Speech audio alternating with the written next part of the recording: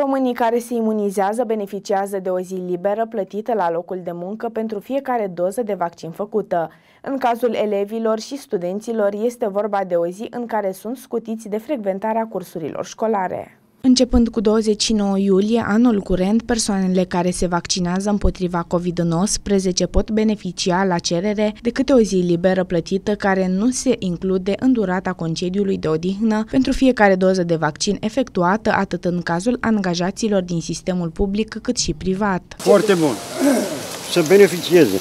Eu sunt pensionar, sunt vaccinat și ce să mai cer?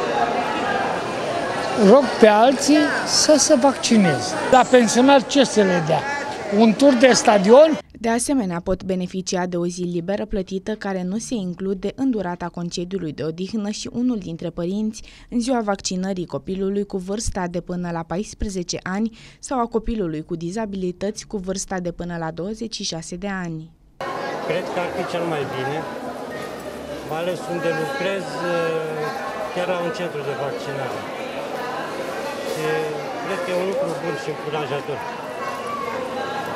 Fiindcă și după vaccin oamenii mai au anumite repercursiuni. Cred că e indicat în zile bune. Să nu primească nimic, că nu e poman. Trebuie să vaccineze. Eu am trecut prin boală, am fost contra vaccinului, nu fac, cum să spun, propagandă. Dar m-am vaccinat și mă simt bine. Elevii, studenții și cadrele militare vor beneficia de asemenea de câte o zi de scutire pentru fiecare doză de vaccin efectuată.